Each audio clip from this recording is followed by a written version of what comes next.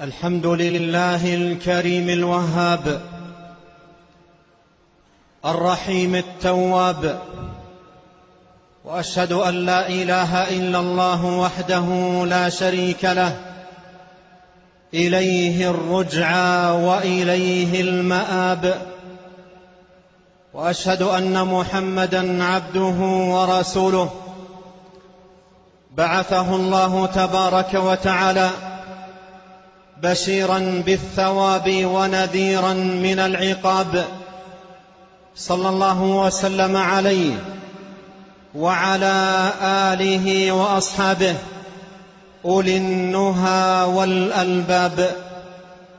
أما بعد أيها المؤمنون عباد الله اتقوا الله تعالى وراقبوه سبحانه مراقبة عبد يعلم أن ربه يسمعه ويراه. وتقوى الله جل وعلا. عمل بطاعة الله على نور من الله رجاء ثواب الله. وترك لمعصية الله على نور من الله خيفة عذاب الله. أيها المؤمنون وصف موبق جاءت الشريعة بذمه والتحذير منه وبيان خطورته. إذا سيطر على القلوب أهلكها وإذا ولج إلى النفوس أعطبها. معدود في كبائر الذنوب. وعظائم الآثام ألا وهو عباد الله اليأس من روح الله والقنوط من رحمته جل في علاه. قال الله تعالى إنه لا ييأس من روح الله إلا القوم الكافرون. وقال الله تعالى قال ومن يقنط من رحمة ربه إلا الضالون. وفي المسند للبزار عن ابن عباس رضي الله عنهما أن رجلا قال يا رسول الله ما الكبائر؟ قال الشرك بالله والإياس من روح الله. والقنوط من رحمة الله. والقنوط أشد اليأس.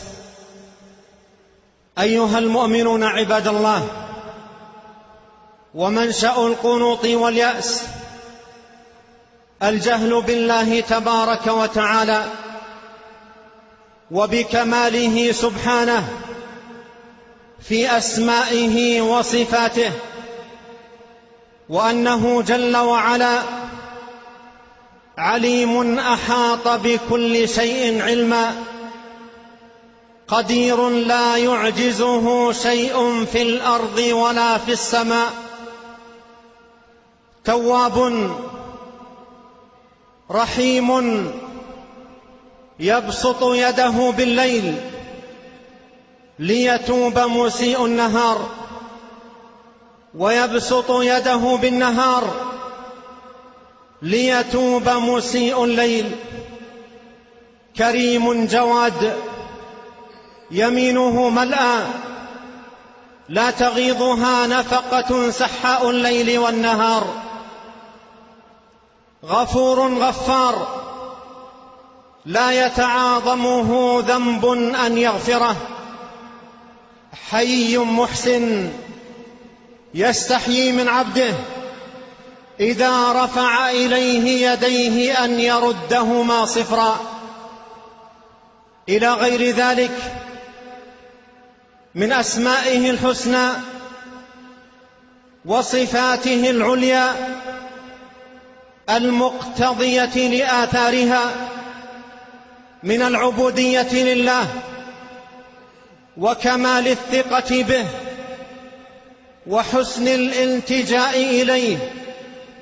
وقوة التوكل عليه وشدة الطمع فيما عنده دون إياس أو قنوط.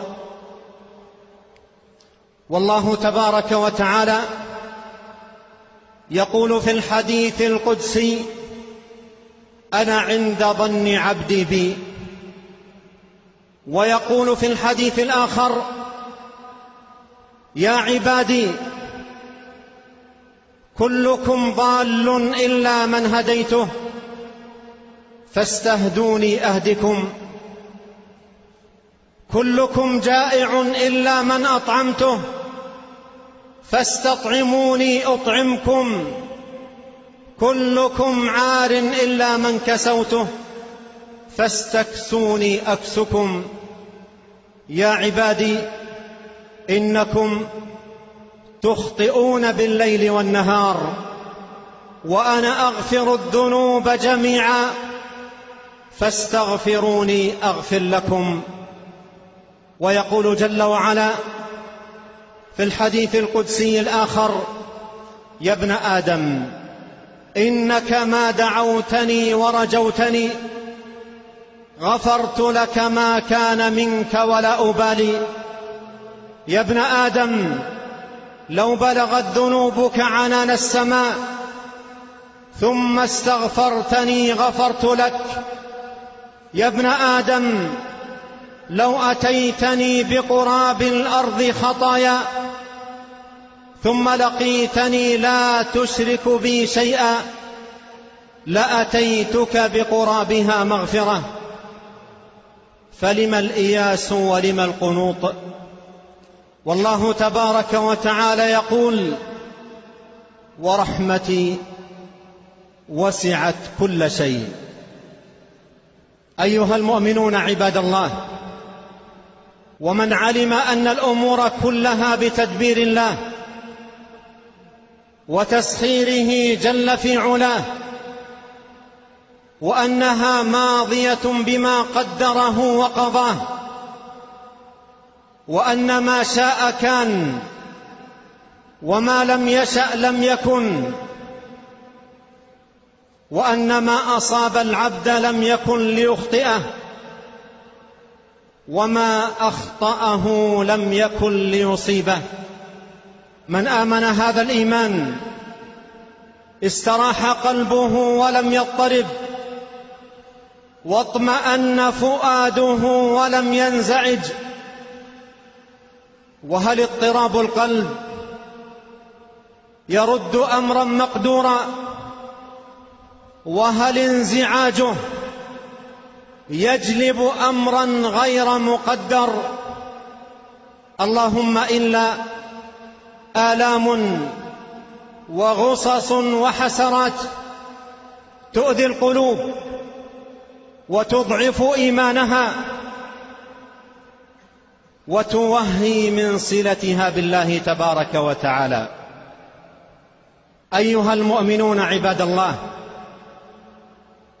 ومن كان إياسه وقنوطه بسبب كثرة ذنوبه وتعدد خطاياه فليتأمل كثيرا في قول الله سبحانه وتعالى قل يا عبادي الذين أسرفوا على أنفسهم لا تقنطوا من رحمة الله إن الله يغفر الذنوب جميعا إنه هو الغفور الرحيم وهي أرجى آية في كتاب الله تبارك وتعالى فالله تبارك وتعالى لا يتعاظمه ذنب أن يغفره ولا حاجة يسألها أن يعطيها جل في علاه. والواجب على العبد في هذا المقام أن يجاهد نفسه على الطاعة وأن يحرص على مباعدتها عن العصيان. غير مستسلم ليأس أو قنوط بل مجاهدا نفسه على طاعة الله عاملا على نيل رضاه جل في علاه. وليتأمل حاله في مصالحه الدنيوية ومبتغياته من متع الحياة. أليس يتعامل معها دون إياس أو قنوط؟ فها هو الجائع لا يستسلم لجوعه والعطشان يبحث عما يروي ظمأه إلى غير ذلك من مصالح الدنيا وحاجاتها. فلم الاستسلام للذنوب؟ لم لا تدفع العقوبة الأخروية؟ بالتوبة إلى الله عز وجل والإقبال عليه سبحانه وتعالى. إذا كان العبد يتوقى من كثير من الأطعمة خوف مضرتها لم لا يتقي الذنوب؟ خوف معرتها. أليس هو قادم على الله؟ ومؤاخذه سبحانه على ما قدم في هذه الحياة. ولهذا وجب عليه أن يكون ناصحا لنفسه مقبلا على ربه غير مستسلم ليأس أو قنوط ولا أيضا متماديا مع تأخير أو تسويف. والكيس من دان نفسه وعمل لما بعد الموت والعاجز من أتبع نفسه هواها وتمنى على الله الأماني.